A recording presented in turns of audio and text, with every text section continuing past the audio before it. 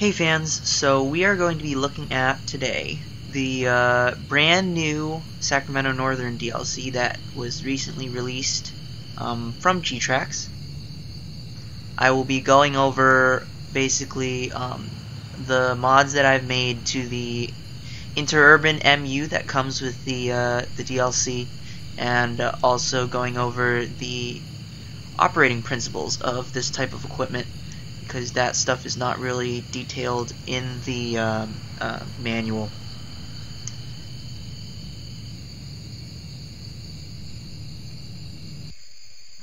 Alright, so here we are in the cab. Um, I'm going to set up running direction, uh, headlights on, good. So a couple things to note. Um, I was basically the changes that I did make to this uh, rolling stock is that I obviously I adjusted the performance physics. So uh, changed the top speed changed the tractive effort curve. Um, the things that I wasn't able to really fix obviously because most of that is scripting is the brake setup. Um, you'll notice that the brakes are set up in the game to be automatic lap uh, like the farther you pull back, stronger the brake. Um, in real life, I don't think it's it's set up like that. I think it's a manual lap brake, the release, hold, service positions. So uh, why don't we charge the train up?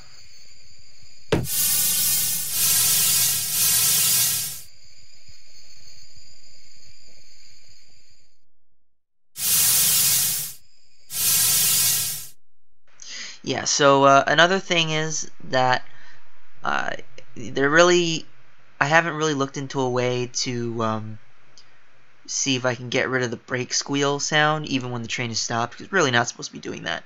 Um, that's minor. So the way the controls are set up uh, for the throttle is that this train in real life anyway is it's a camshaft resistance controller that you're looking at on the uh, left, the, to the left of the brake. Um, this controller, in the game anyway, has uh, 7 points of power. So let me put this in neutral so this doesn't go anywhere. Now, in real life, what you're supposed to do with this type of controller is that uh, because you have 7 points of power, the way it would be divided up is that the first 4 points would be uh, series points where your your electrical circuit would be hooked up in in series uh, where you're running the power through the resistors and then through each motor. Um, and then the the last four points points four to seven would be parallel points where you would have the uh, resistors hooked up to the uh, motors in parallel. So the way you you would be trained to operate on these would be that you would have to progress through each of the power points um, uh, you wouldn't you would not be able to wrap up the controller right away if you were starting up from a from a standstill. You would have to progress through each power point uh, until you got to at least full series. And then uh, once you're in full series, which in this is notch 4 or 57% uh, I believe, uh, then you could hold that for about 4 or 5 seconds and then wrap it straight up to parallel. That's how the operation of this would work. So just to demonstrate,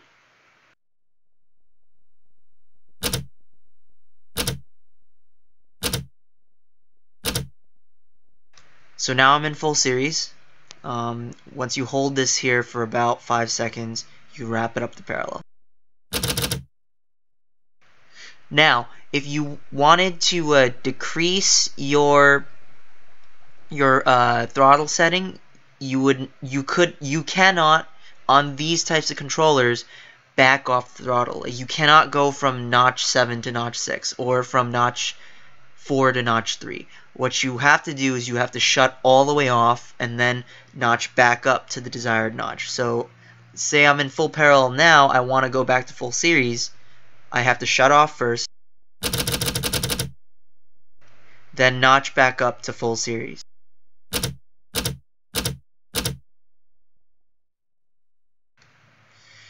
Additionally, um, you should keep in mind that because this is a resistance controller, you need to remember which points of power are resistance points.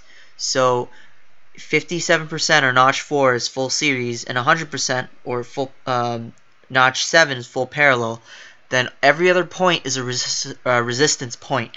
That means that you cannot have the controller in any point that is that is a resistance point for for a prolonged period of time. Otherwise, you risk out running too much current through the resistors and overheating the resistors, which could cause uh, resistor fires. So for low speed yard moves or switching moves, what you would do is you would use the first point or two points, uh, and you would basically notch up to point one or point two, then turn it off. Then notch back up to point one and turn it off to, to maintain coasting speed.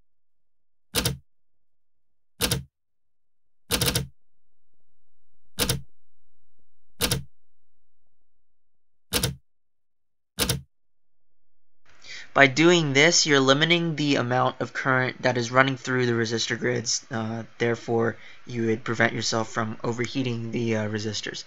Alright, now that we have the control elements out of the way, um, I'm going to demonstrate the uh, physics modifications. Basically, um, the, the default settings are really weird.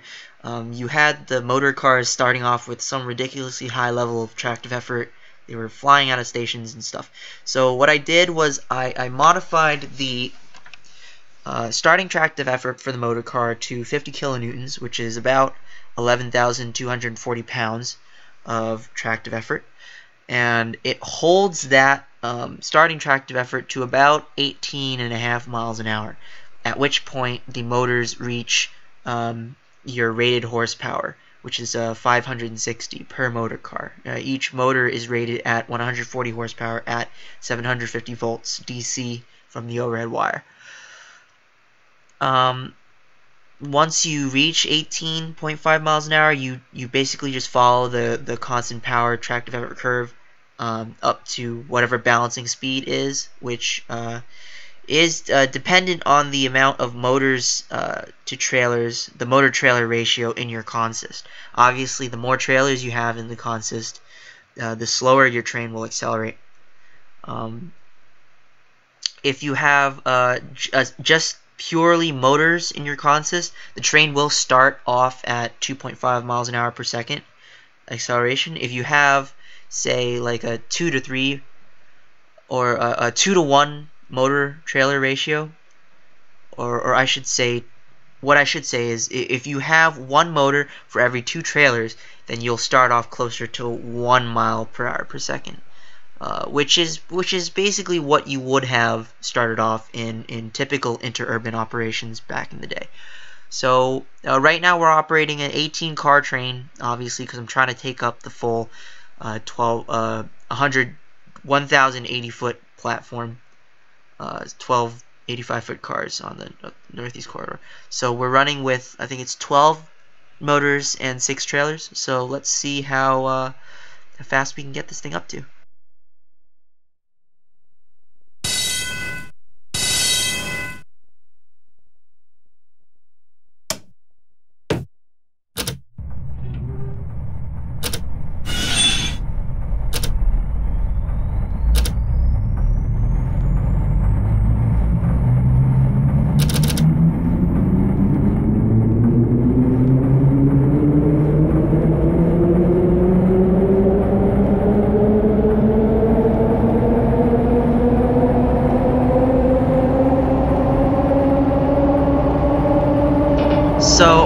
Obviously, uh, some things to note in the game.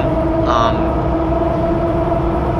the game is not going to penalize you for progressively backing off the throttle. Um, it's also not going to penalize you for wrapping it up all the way to full parallel uh, just straight off the bat.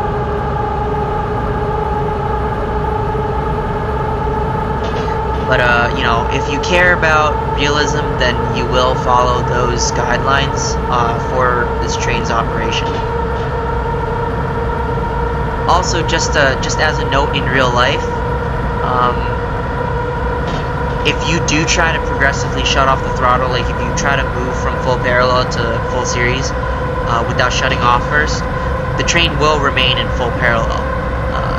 So it really doesn't do anything for you to progressively shut off. Obviously, once again, like in the game, it, it's not gonna, it's going to progressively shut off for you. But just as a note of realism, you really should shut off first and then bring it back to the desired point of power.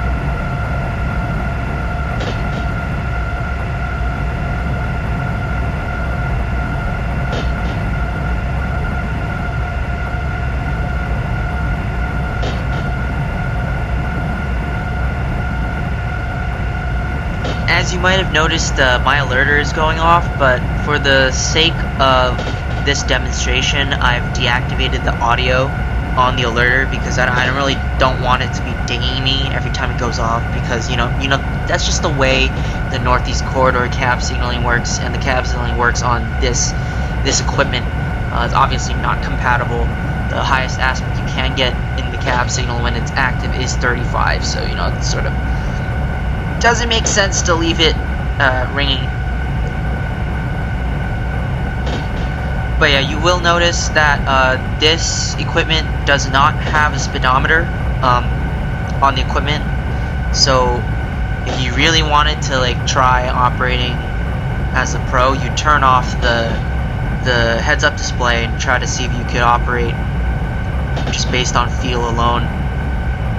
I mean, that's how they used to do it back in the day before you had speedometers, so you actually took skill to, to run a train. Everything is automated now. It's, I mean, you still need skill to do it, but a, a lot of information is given to you, whereas back in the day, you really had to feel the equipment.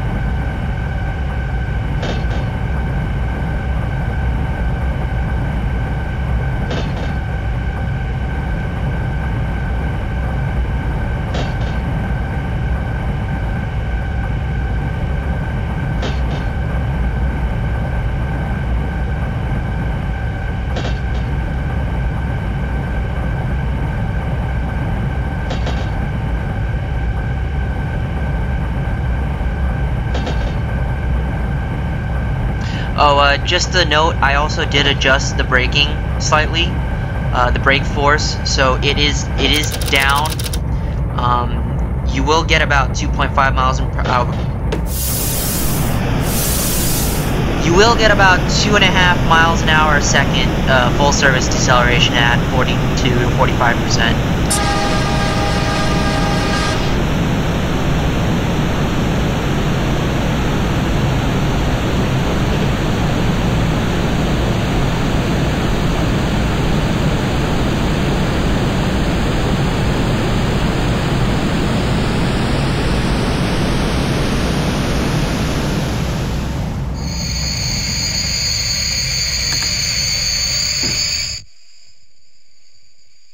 Alright, so there you have it. It's full service stop. Uh, see how far I overran, actually.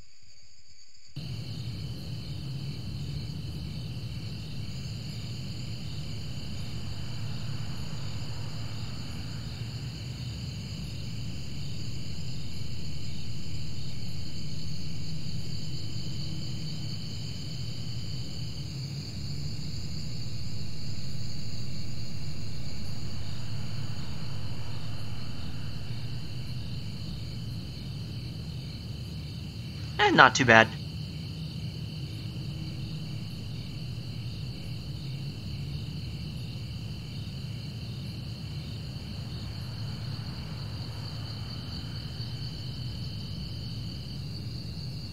Alright, so that basically concludes uh, what I wanted to demonstrate for this mod pack. I'm going to continue running up towards New Brunswick and Edison just for uh, visual stuff.